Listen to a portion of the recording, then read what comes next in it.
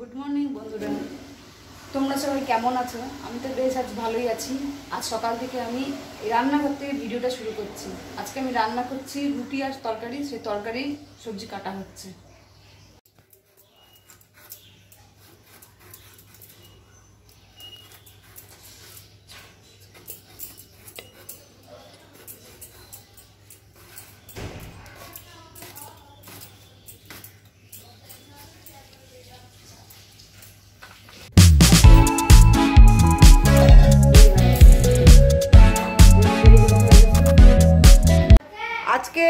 দেরি হয়ে গেছে আমার মানে কি বলব মানে ঘুম থেকে উঠতে।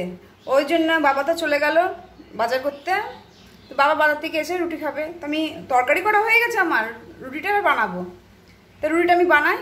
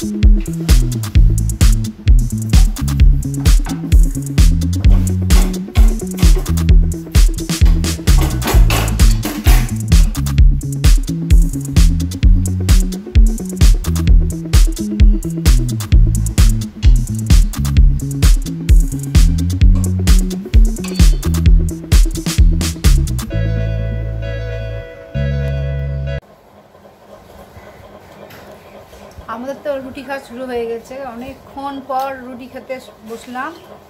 দেরি হয়ে গেছে আজকে, প্রচণ্ড দেরি হয়ে গেছে। আজকে সাড়ে সাতটায় ঘুম থেকে উঠেছে। দিয়ে কুটুস খেলা করছিল, এখনই ওকে খাইয়ে দিয়ে ছেড়ে দিয়ে এলাম। খেলা করছে বাইরে ও। আর এই যে মেয়েকে খাওয়ানো শুরু করছি মানে তাড়াতাড়ি খাওয়াচ্ছি অনলাইন ক্লাস হবে, একটু পরেই। ওই জন্য তাড়াহুড়ো করে খাওয়াচ্ছি।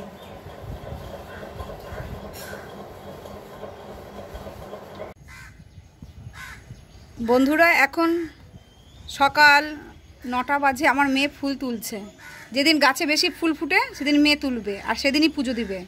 আর যেদিন ফুল কম হয়, সেদিন মেয়ে পুজো দিবে না। হ্যাঁ মেয়ে এখন ফুল তোলার জন্য রেডি দেখুন, মেয়ে ফুল তুলছে।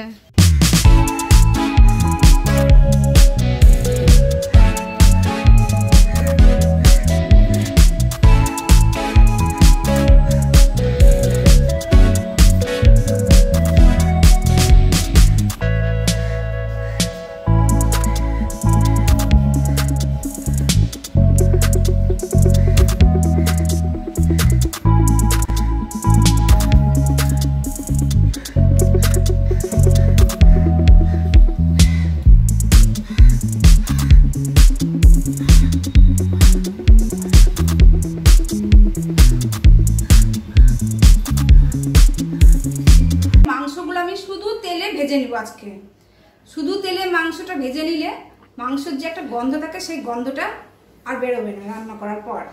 তো আমি আগে মাংসগুলো ভেজে নিই। পেঁপে দিয়েছি বাবার জন্য, আলু আর পেঁয়াজ, আর এই যে চিকেনটা আছে। আর মশলা হচ্ছে আমাদের সেই বাঙালির মশলা।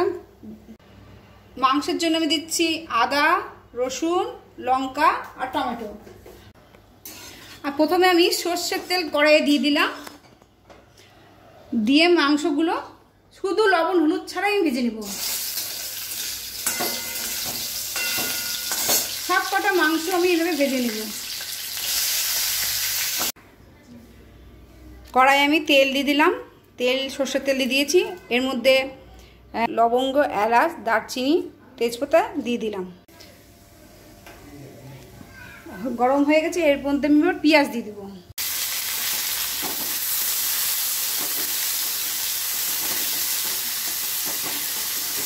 পেঁয়াজটা একটু ভাজা ভাজা হবে। এদিকে আমার পেঁয়াজটা ভাজা হচ্ছে আর আমার এই যে মশলা, এর মধ্যে আমি দু চামচ জিরের গুঁড়ো আর ধনের গুঁড়ো মিশিয়ে দিয়ে দিচ্ছি। এই যে ধনের গুঁড়ো, জিরের গুঁড়ো মিশিয়ে দিয়েছি, এই মশলাটা এবার আমি আমি এবার পেঁয়াজ ভাজার মধ্যে দিয়ে দিব।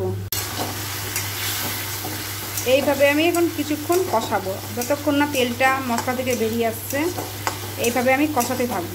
এর মধ্যে এখন আমি লবণ হলুদ দিইনি আমার মশলাটা কষানো হয়ে গেছে। এবার এর মধ্যে আমি মাংসটা দিয়ে দিব, ভাজা মাংসটা। মাংস যখন আমি ভেজেছিলাম, ওর মধ্যে আমি আলু আর পেঁপেটা ভেজে নিয়েছিলাম, দিয়ে একসঙ্গে সব দিয়ে দিলাম।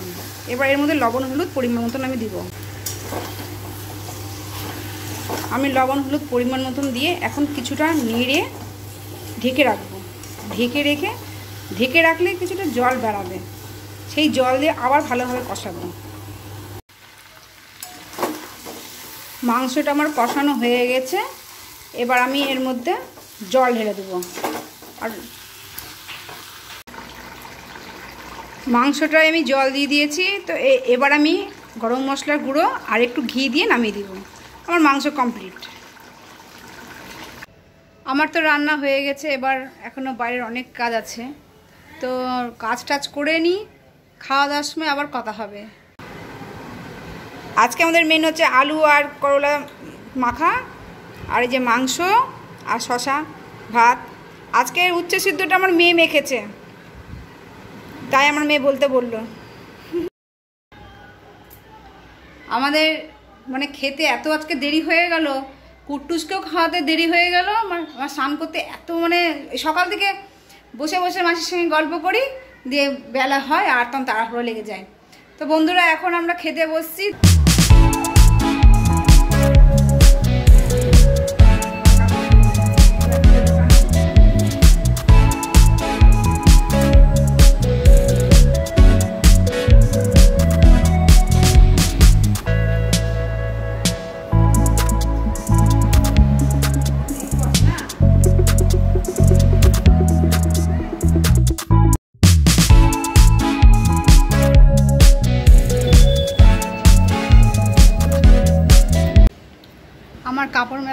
গেছে।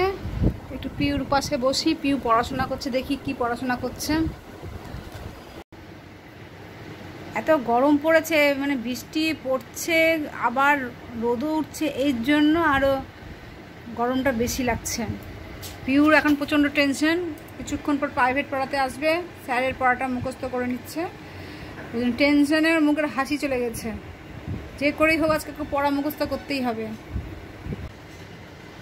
আমাদের এত দেরি হয়ে যাচ্ছে রান মানে খাওয়া দাওয়া করতে করতে। মানে মাসির সঙ্গে আমি সকালবেলায় অনেকক্ষণ গল্প করি। যে সেই গল্প করতে করতে ঘড়ির কাটার দিকে আমরা তাকাই না। যে লাস্টে আমাদের এই তিনটের সময় খেতে হচ্ছে। তা আমি মাসিকে বলেছি, আমি কালকে তোমার সঙ্গে গল্প করব না। খাওয়া দাওয়া হবে, তারপরে গল্প হবে। নাহলে আমাদের দেরি হয়ে যাচ্ছে খাওয়া দাওয়া করতে। তো মাসি এখন শুয়ে আছে। আর আমি একটু পিউকে এই ঘরে পড়তে বসালাম, ওকে একটু পড়াই।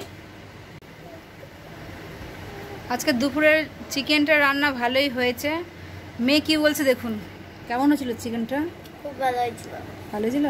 সত্যি তো না ভিডিও দেখে মিথ্যা কথা বলছিস?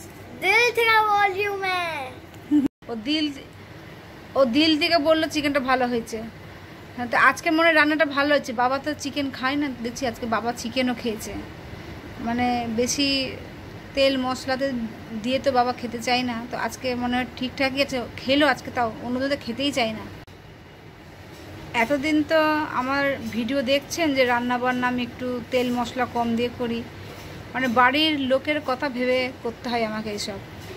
আমি যদি একটু তেল মশলা বেশি দিয়ে রান্না করি প্রবলেম দেখা দেয়।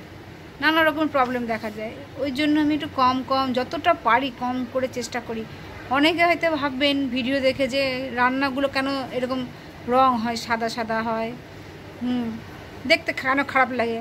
উপায় নেই, আমাকে এরকমই রান্না করতে হবে। ওই জন্য আমি ওইভাবেই রান্না করি। তো আমার এতে দেখি এইসব রান্না করে আমার বাড়ির লোক ভালো আছে। তো আমি তাহলে সেগুলো যেগুলো খেয়ে বাড়ির লোক, বাড়ির মানুষ সুস্থ থাকবে, সেই সবই তো আমি রান্না করার চেষ্টা করব। আমি হাই ফাই রান্না করে কি করব। বাড়ির মানুষ যদি সুস্থ না থাকে, ওই জন্যই আমি এইভাবেই যতটা পারি তেল মশলা কম দিয়ে রান্না করি। তো আজকে তেল মশলা কম দিয়ে চিকেনটা ভালোই হয়েছে। সবাই যখন খেলো হ্যাঁ তাহলে ভালোই হয়েছে। তো বন্ধুরা আমি এখন একটু মেয়েকে পড়াই। আপনারা তাহলে বিশ্রাম করুন। এখন বিকাল তিনটে বাজে।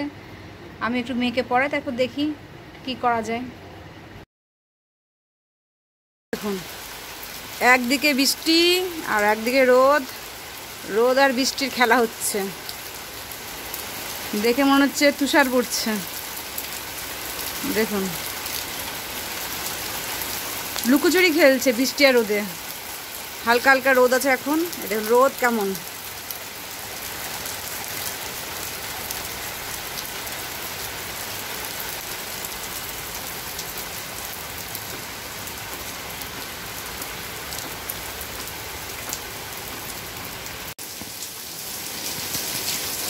কি জোরে জোরে বৃষ্টি পড়ছে। আর এইদিকে রোদ।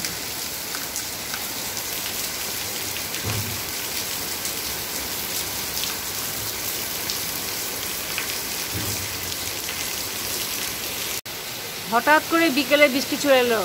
না ঝড়, না মেঘ, চোখের নেমেছে বৃষ্টি, রোদের মাঝে। কি বৃষ্টি দেখুন।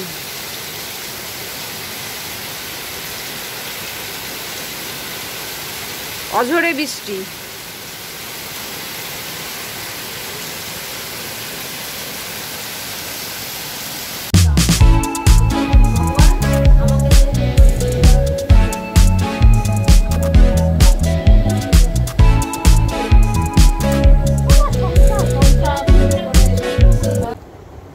বন্ধুরা, আমার পাশে কিছুক্ষণ আগে দেখেছিলেন একজন মহিলা বসেছিল।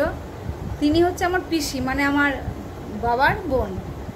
তো অনেক দিন ধরে তিনি বলছিল, আসব। কিন্তু আসার সুযোগ পাচ্ছিল না। আমাদের কিন্তু এই দুটো বাড়ির পরই বাড়ি, কিন্তু তাও সুযোগ পাচ্ছিল না আসার।